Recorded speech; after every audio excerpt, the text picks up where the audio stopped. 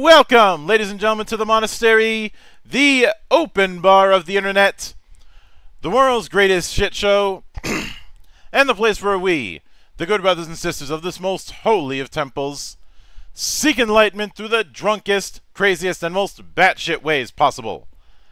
I am your one and only gaming monk, better known as Mildra, and with me I have a returning good brother to the temple, the mastermind behind Shades of Vengeance, and a man who is no stranger to these hallowed halls. Now coming back with a improved version of Era Balam, the one and only. I think your microphone went a bit wrong there. Uh, Oh. Hello, everyone. I'm I'm back. Uh, you can't really keep me down for very long. Uh, I'm just going to make sure that we haven't lost Mildra. You still No, I'm still here. I'm right, still here. Your, your microphone went very weird at the end there. Yeah, sorry about that. Sorry about that. Discord has had some issues getting along with my mic at, at times. That just no happened to be one of them. Oh. But yeah, as you say, I'm back with Era Balam. hmm Um, it's a new and improved version of the game, and when the game originally came out, um, it didn't really get the attention I think it deserved because of the time of year it came out. Um, and that's a whole other story, which I'd be more than happy to talk about. But um, I think Era Balam got missed by a lot of people who really would enjoy it. Um, in fact, I've got one super fan who, uh, you know, was completely converted over and and and b- uh, began to believe totally in Era D10 as a result of playing Era Balam just the one time. hmm Um, so, uh, yeah, I, I, I think Era Balam maybe got missed by a lot of people. It's a very diminutive book. It's A5. It's only 40 pages long, 42. hmm Uh, at least the original was. Uh, the new one is eight pages longer. Yeah. Uh, with new content. hmm Um, uh, yeah, sorry. No, no, no. Go ahead. I think I, I, th- I think the only time I really dedicated a significant amount of time to talking about it was the first time I had you on, and that was really a grab bag of a bunch of stuff because I had come in We were talking about somewhat late, somewhat late to the party. So I had to touch a little bit on that, a little bit on Alamo, a little bit on Consortium, and so and some other stuff. And Absolutely. obviously, what obviously when you're trying to cover like four, or five, or si- or six different RPG RPG um, entries in one system, some things are going to get more attention than others. Yeah, you, you yeah, and and uh, again, Era Balam being one of the smaller entries in the series, um, it, it's easy to skip over, and and that's the reason that I wanted to come back. You know, it's it's been six years since I released it. Mhm. I wanted to come back and I wanted to look at it again and improve and expand it. Um, I didn't have lots that I wanted to change. In fact, I didn't want to change anything. What I wanted to do was add a lot of material that I'd sort of had separately or in my head that I'd never that I'd never been able to fit in a small pocketbook. Yeah. Now, I, bel I believe with this, you've you've cited um, there's three games that you cited as I'm not sure if you said anything because I think your microphone's gone again. I'm very sorry. Um, I'll just say some more stuff.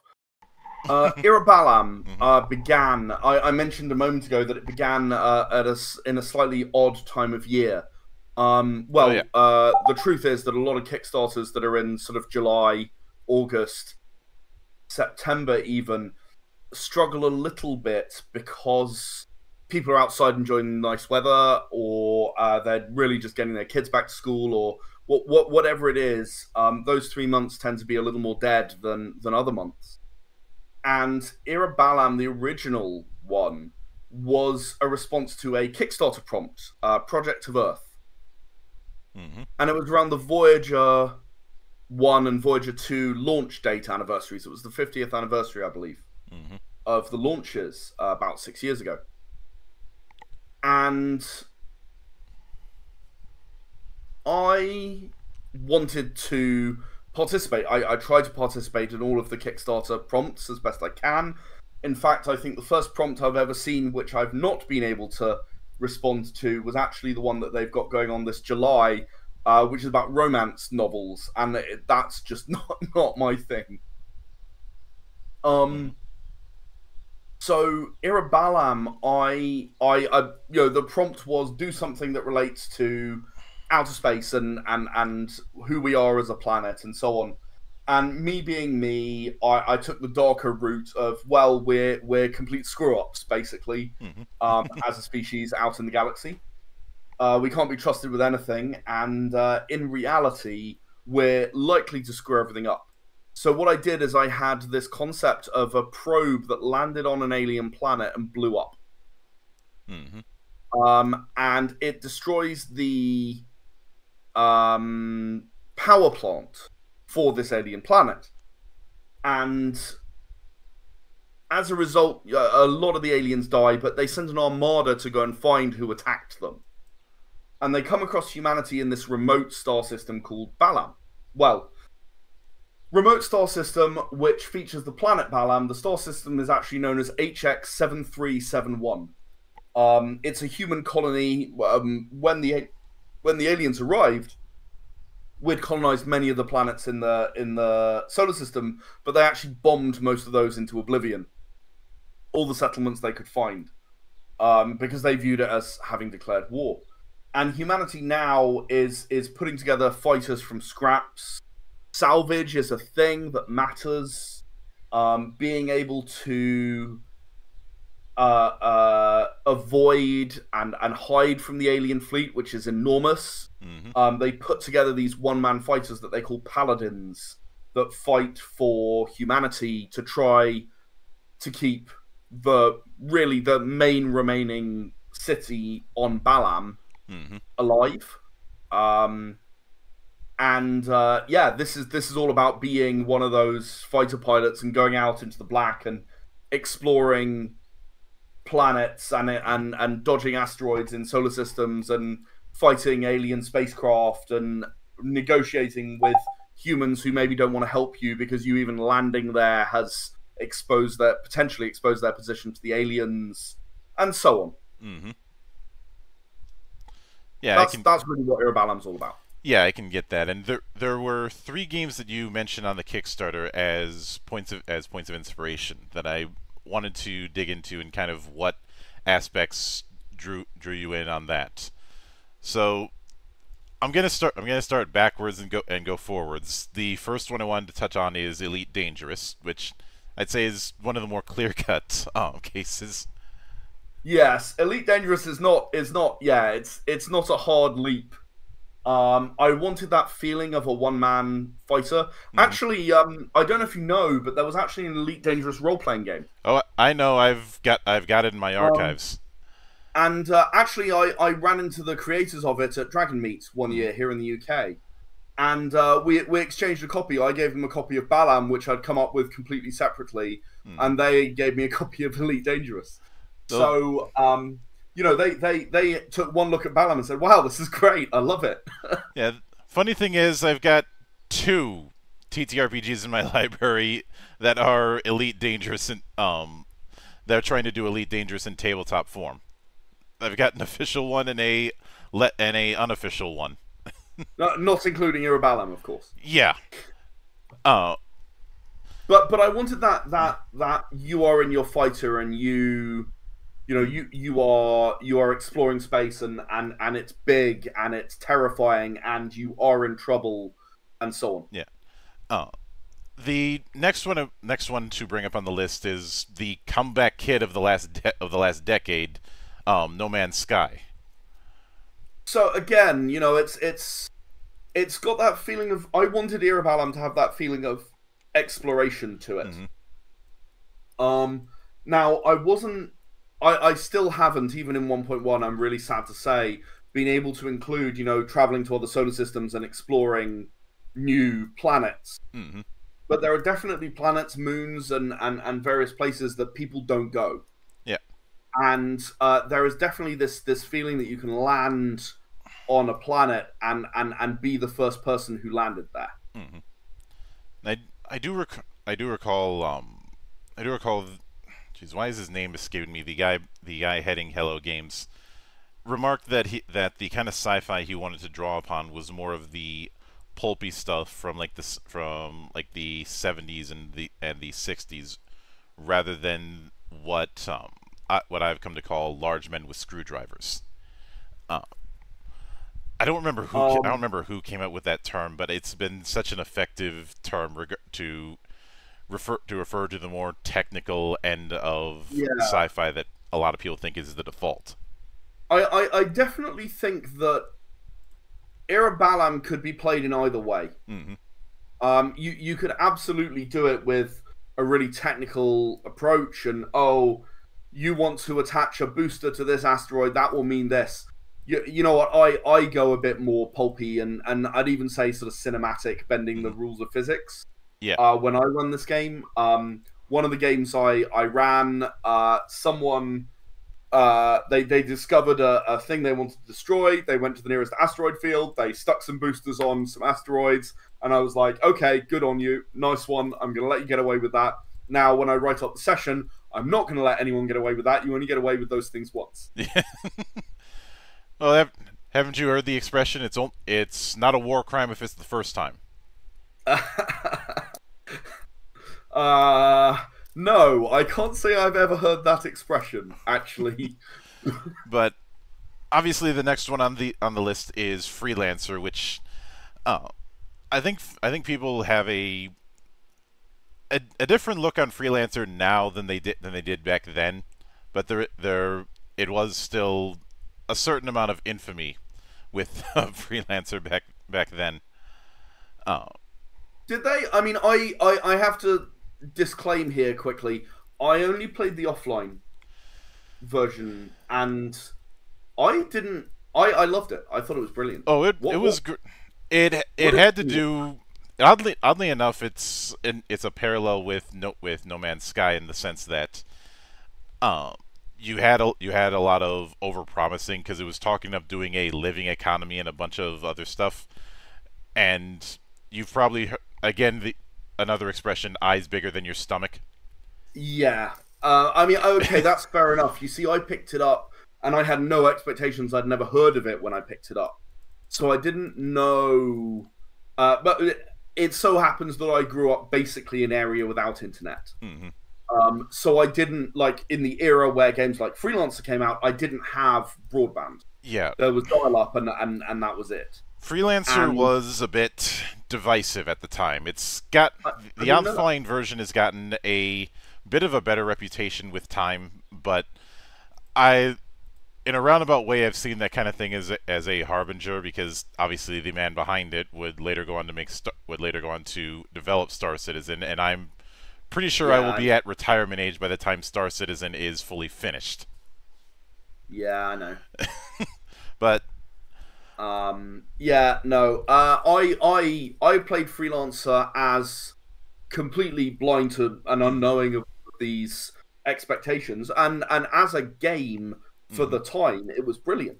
It was really good. It Yeah. was extensive. The story was good and engaging. The only thing I got annoyed about was the fact the story ends where it does, and you never you never find anything out, and there was never a sequel. Yeah. Uh, and a lot of a lot of that does have And interestingly, one of my first introductions to uh, Jennifer Hale as uh, voicing a main character mhm. and because she played Junko Zane. Yeah, and of course the piece de resistance on this list is invoking Homeworld. Um, Ho- Homeworld has been one of my favorite games for a very long time. Mhm. Uh, I was I was there when it was Game of the Year. Mhm. Um, I was absolutely blown away as as a lifelong sci-fi fan to see Homeworld One for the first time was just mind blowing. There were there were no words for this game that actually captured what it would be like to fight in space. Mhm. It just it's not perfect. It definitely has flaws. I understand. I'm not pretending it's the perfect game or or, or anything like that, but it captured the taste that I always wanted to see and you only ever see 2D stuff. Um, you only ever saw 2D stuff in that in that era, and Homeworld just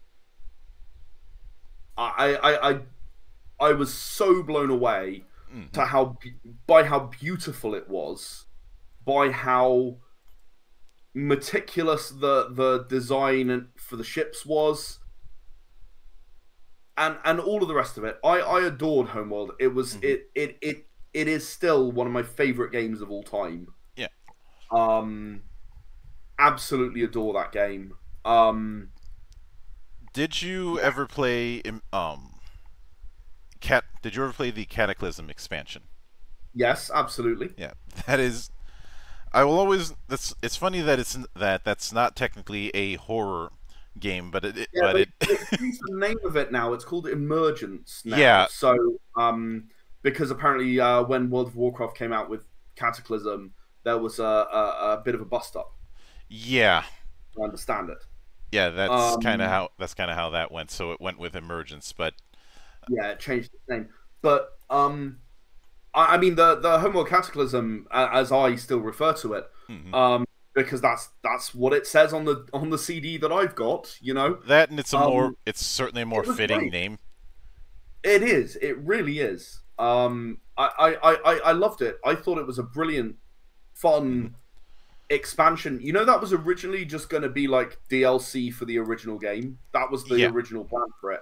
And they, it, it, it, it's literally a 16 mission game where not only did they do a lot of the things that they did in Homeworld, they, they tap into this new approach of the last boss for example you've got to use your um uh the corvettes that are combined from the 2 Mhm. smaller ones to zap it right and you Yeah. have to disable engines you aren't you aren't just shooting this thing you can't just shoot this thing it's not possible you have to zap it so that it stops and then get it Mhm. and and using those mechanics that they'd already built into Homeworld was just brilliant. Then there was Homeworld 2, and uh, I don't know if you know, I don't know how closely you follow Homeworld. Homeworld 3 literally just came out. Yeah, I um, I have. I've heard some, I've heard some disappointment about the online. Mhm. I've heard the single player was was very good and very satisfying.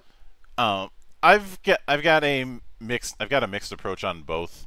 Uh, and while it's not in space, while it's not in space, I always I always um tell people Uh, not to s- Deserts of Kharak. Not yeah deserts of Kharak. because one one of the Uh, things that I always that I find fascinating with something like Homeworld is this juxtaposition of doing doing a ver- doing a space um, approach, but with a lot of aesthetic that you'd see in the Fertile Crescent, both with with music, with some of ki- with some of the designs, with some of the um, naming conventions, and so on. Uh, also, the Gardens of Kadesh. There are no no there are many games out there, but none of them have the Gardens of Kadesh. Uh, you you you just you enter the gardens of Kadesh and you go I don't there are not words. This is beautiful. It's beautiful. It's You just know, a, then- it's, it's just a fleeting. And then beauty. and then exactly it's that it's that for a moment there everything's perfect and you are just surrounded by resources and you know it's too good to be true. Mhm. but the first time that you play it, you have no idea what's about to happen. Yeah. And it's just stunning. Mhm. Um, it was so well executed. Those two missions, Gardens and Cathedral of Kadesh, Mhm. just so well executed. Yeah. Uh, yeah. Homeworld has, as as listeners might have picked up by now, Homeworld has always been a really, really big deal for me. Uh, as an inspiration, uh, it was an inspiration for Era of the Consortium, but I was not able to go to the level of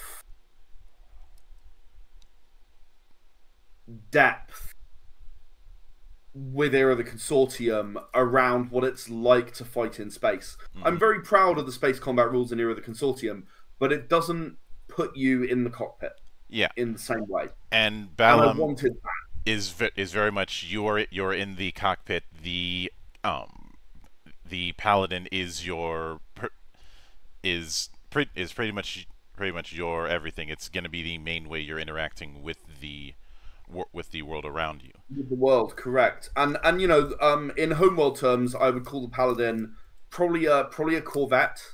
Like it's very big for a fighter relative to Homeworld. Mm-hmm. Um, but uh, we've actually been unlocking stretch goals, and, and this is a great opportunity to talk Yeah.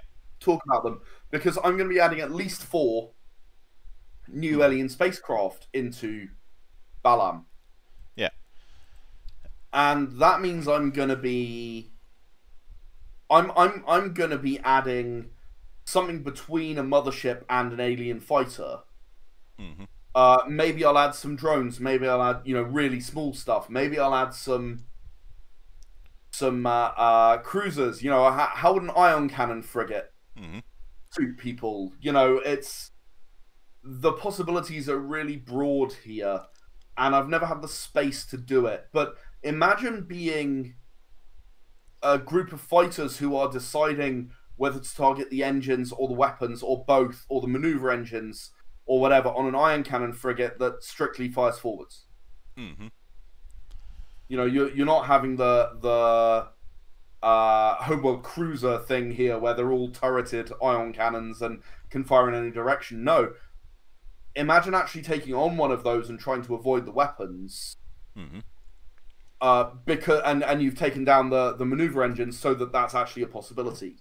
This Yeah. is something that Era Balam really, really accounts for and really allows you to go ahead with as a you know as as a GM. You know, building these kinds of ships. Mm-hmm. I'm really excited for it, and and to have unlocked two stretch goals towards that already, I'm really excited. Yeah. Now, with that in with that in mind, given we're still dealing with the eh, with the region HX um seven three Seven one. Uh, when it come when it comes to that re- when it comes to that region, do you with this with this expansion, do you or um not expansion re- refinement, I should say, do you plan on expanding some expanding some of the details when it comes to that area? Absolutely, I've done exactly that. Um, one of the things that I've added um, is actually a complete star system map, Mhm. as well as looking at rewriting and expanding the um, descriptions for each of the worlds that you can land on.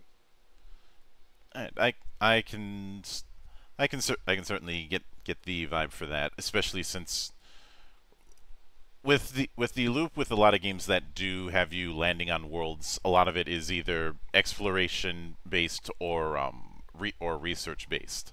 Hmm. Um, because because well, a ship a ship can't sur- can't survive on pilot skills alone. you you're no, get- indeed. you're gonna need Um, fuel. You're gonna need a- you're gonna need ammo. Um, especially if the especially in a system that's hostile, you're definitely gonna need Wow. ammo. Absolutely. Uh, ammo is, is very important in Era Balam, I would say. Mhm. yep. But there now, I I do recall in the original there were um there were three there were three modules that were kind of the or could be considered the core class. You can't see it, but I'm doing massive finger quotes. Um, and that being fighter, I mean, they- siege, and um, I, I made a joke when Balam came out that actually I was basically writing D and D classes hmm into a Yeah. you know i- i- into a science fiction role playing game. hmm Um, and, and and in a sense, there's some truth to that. Um, it, it they are they are very heavy in terms of their impact on your character and the way in which you're gonna behave. Yeah. Um, and there are five Yeah. modules. that Yeah, I forgot. I forgot support and um scout and scouts. My my bad Yeah, on that. yeah. Um, Yeah, there. Are, is it going? Is it going to stick with those five? It's it, it or are there going to be some expansion since you talked about one of the stretch goals, possibly allowing for a mothership like ship. Um, so the the mothership like ships, they're all going to be on the alien side. I'm not going to be giving players a larger ship. Um, I think it. I think something like that would damage what Era Balam is. It feels like, and and also the the world building that exists. You know where. Uh, where, where you know it, there really is this desperation among humanity, and the only the only resources they have are to build these paladins. Yeah. But they've been really effective. thanks to the ingenuity and skill of the pilots. hmm So uh, I'm not going to be giving that to humans. And I also uh, I've not. There are some other modules that I've thought about including, and again we'll have to see how far the stretch goals go. hmm Um, uh, I've I've not ruled that out at all as a possibility. Um, I for now in the rulebook there are still only the five modules, uh, and and just take to take people through it just briefly. Um, the fighter module uh, means that you have to get very close to your enemy, but if you do, you're quite likely to turn them into Swiss cheese relative to normal normal weapons. hmm Um, the siege module uh, gives you a long distance laser cannon, uh, very very long range, and uh, however it can only fire once every two turns, so you have to pick your moment to fire. Yep. The salvage module launches three small salvage drones. Uh, they can actually be destroyed, so you have to be a little careful about when you when you launch them. Um, and they can heal uh, friends or yourself, and they can also uh, even even like rip things apart. hmm Um, so they're good for salvage. They're good for, um, and you can even salvage an enemy ship in flight. Thank you, uh, Homeworld, for that idea.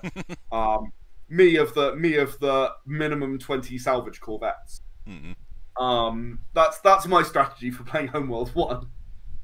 The support module, it turns the paladin into both a mine layer and a mine sweeper.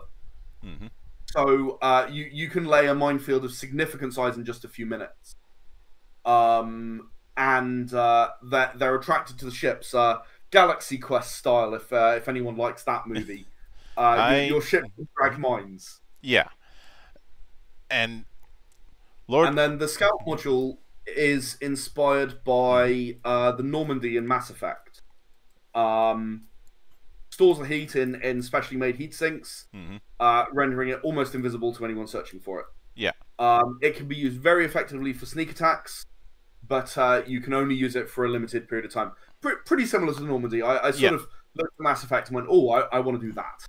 that and there's always going to be given ever since the ever since the days of submarines there's always been a certain appeal to the ste- to the stealth ship in that regard how we see that with we see that with modern day planes with the amount of stealth the amount of stealth tech that's been used in planes for about I'd say 40 Years now, 50 maybe. years Yeah.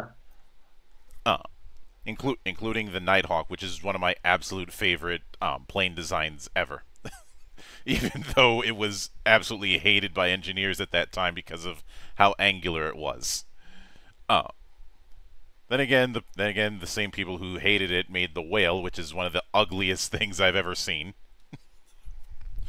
but I can def- I can definitely get that that kind of appeal. Uh, Yeah, and, And- and the thing about the thing about this that makes it very different to classes Mhm. is you can switch it. If you don't like the way it's going, you can just switch it out. It's a module. It comes out and you replace it with another thing.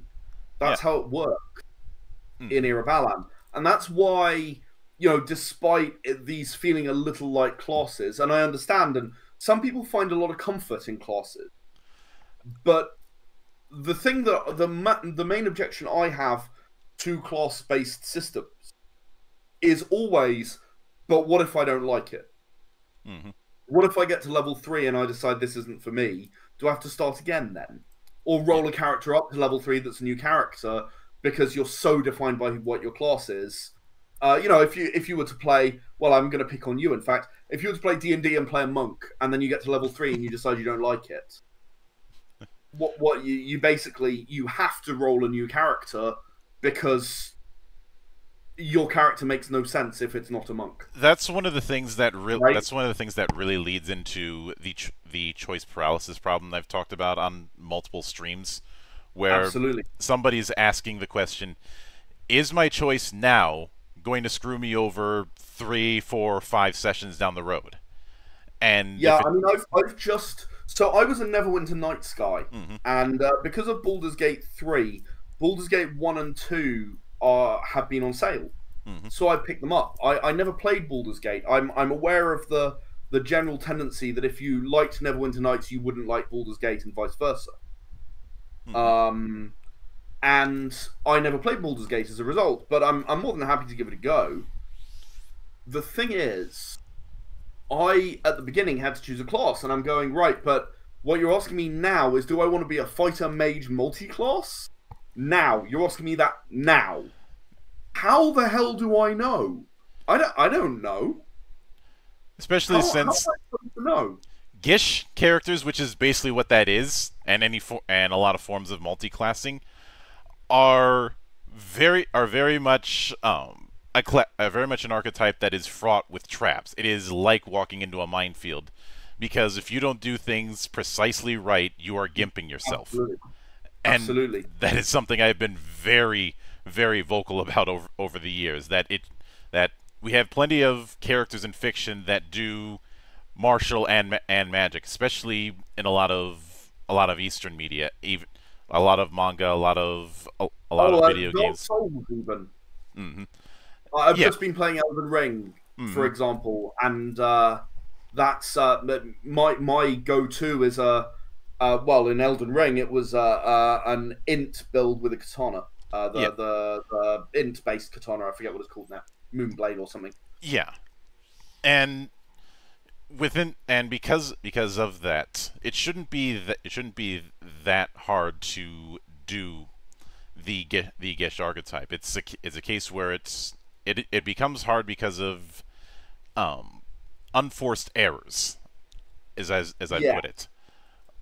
Yes, I, I agree with you. It's that's one of the things I've been thinking about very hard recently in, in game design terms because as you know I'm working on a on a Dark Souls inspired game. Yeah, And I've- Um, the funny the funny thing is is that I've I um I did a I did a stream not too long ago talking not to, to just to wrap up this tangent I did a stream not too long ago talking about Dark Souls 5e and where I said that it doing straight up classes was a mistake because one could argue that these Souls games have classes but they're not classes they're packages Exactly. It's that's not the case. It you can decide after getting 50 strength that you'd like to now build your int and be a sorcerer as well. Yeah. Or vice versa.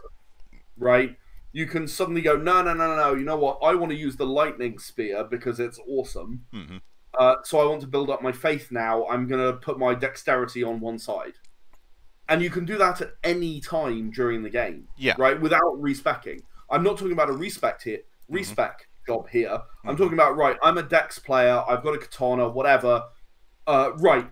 I just came across this spell, Soul Spear, and it sounds amazing. Mhm. So what I'm going to do is go ahead and cast away with that. Right. I've got to have 40 int to do that. So sorry, Dex build with with growing katana strength.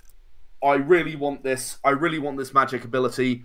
I'm gonna hold my katana in one hand, my uh, catalyst they call them in Dark Souls, don't they? In the other Yeah. hand, and I'm just gonna cast away and be able to hit things as well. And- How how are you classed in Dark Souls? You you are not. It is a classless system.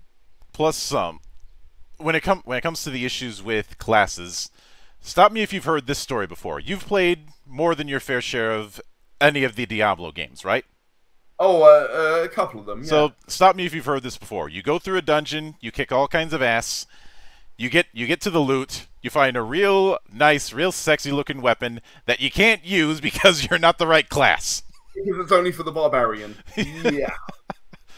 And that it I mean, yeah, yes, there's going to be other opportunities to find something that will fit, but that feels that doesn't make it any less painful. It, it does. You, you're sat there going, but I don't even have a barbarian playing this game. Why do I have this? hmm Yeah. It's only good for sale. Oh my god. Yeah, I, I played. I played a lot of Diablo 2. I, I I platinumed Diablo 3. I haven't played Diablo 4 yet. Uh, Um, I've played Diablo 4 for a bit, and that and then I realized this is a very very good advertisement for Path of Exile.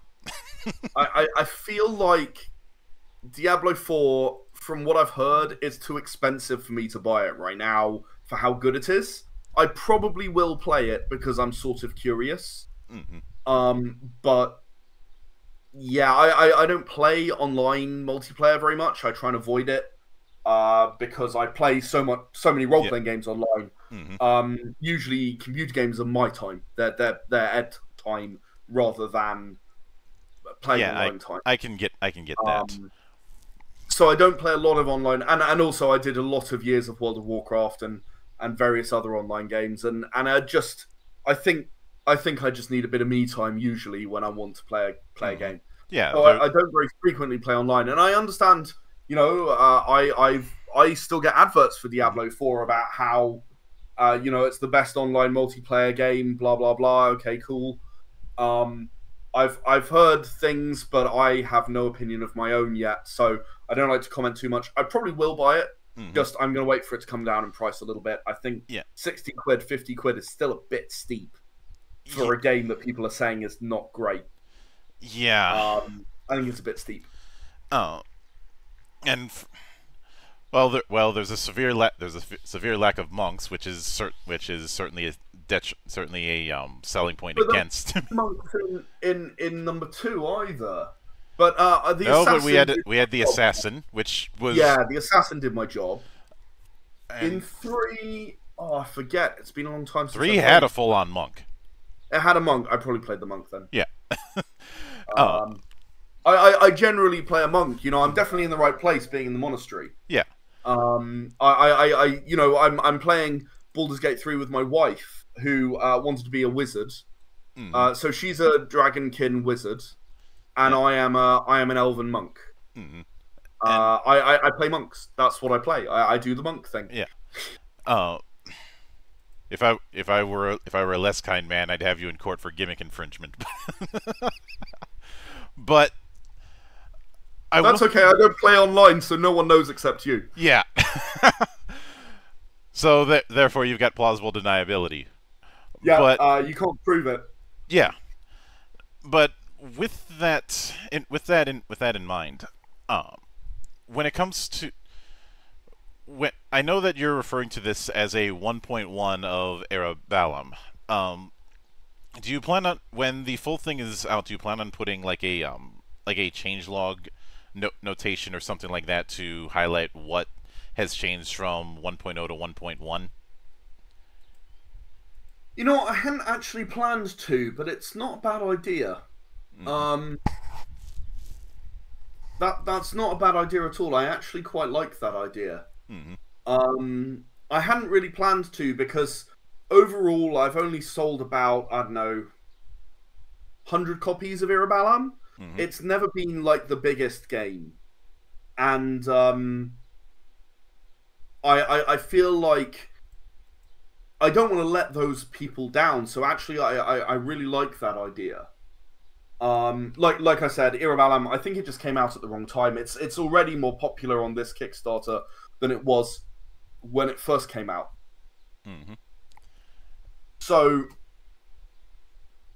um, yeah, I actually really like that idea, and, and and that would mean that I don't have to leave leave anyone behind, Mhm. uh, which I really don't want to do. Yeah, I.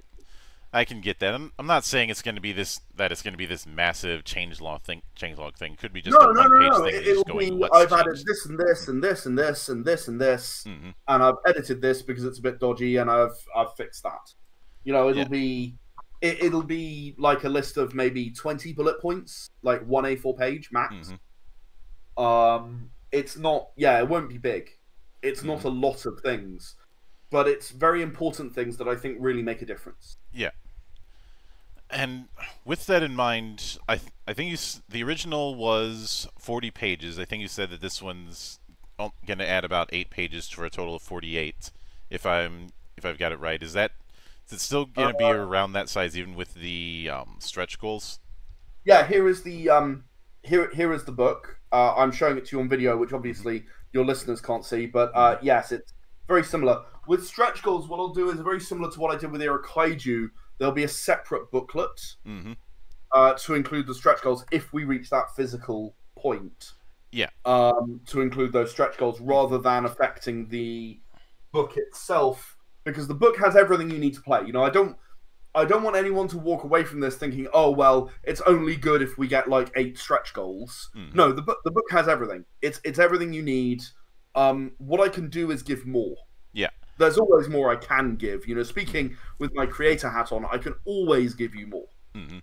and I want to. I want to give as much as I possibly can to anyone who wants to play this game because it's really a great game. It's good fun Mhm. and um, that means that no, the stretch goals won't affect the page count because that would imply that what I was trying to sell you in the first place wasn't fit for purpose. Yeah. and I wouldn't want to imply that because it's not true. Mhm. So, yeah, what what you'll see instead is additional materials become available as a result of the Kickstarter stretch goals Mhm. and you can have those digitally. You can pay a little extra uh, for a, a, a paper booklets if you would like. Uh, that will be the same size and shape, so it can go right next to your your Era Balam on the shelf. Mhm. Um, just whatever works for you, really, in your you, the way that you play. Oh yeah. And what would you be shooting for as far as a release window?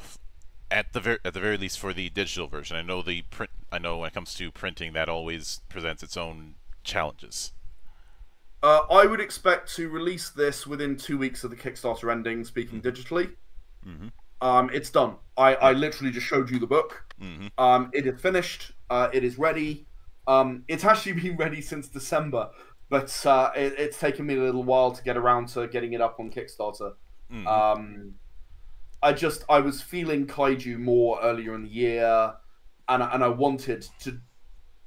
One of the things that I do is I release what I'm, you know, I release and work on what I'm feeling at the time. So if I'm feeling kaiju, I'm going to release kaiju, and Era Balam can wait. I've got more games than I will probably release in my entire lifetime. Um, I've actually got a card game up there which has been sat there since before COVID, which has never had its day on Kickstarter yet. Mhm. Um, that's not because it's a bad game. I just haven't released it. Yeah. Um, it just hasn't been what I felt. And and so far this year, you know, up to up to the point where obviously Era Balam's come out. Um, I've had a lot of things I wanted to do. I wanted to get Empty Shell out the door.